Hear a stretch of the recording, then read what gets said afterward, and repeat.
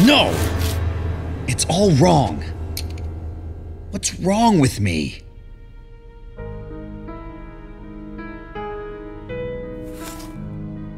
Professor Cavendish, I wish you were still alive. You'd know what to do. All I have now are the books your family gave me. What's this?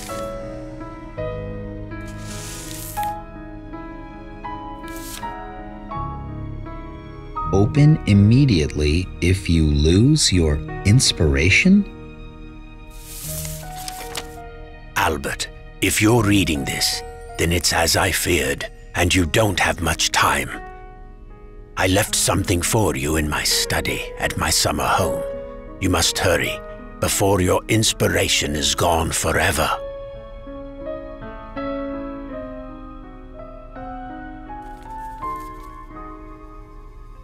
Hey, hun, I'm going to my mentor's house for the weekend. Maybe being there will help me recover my inspiration.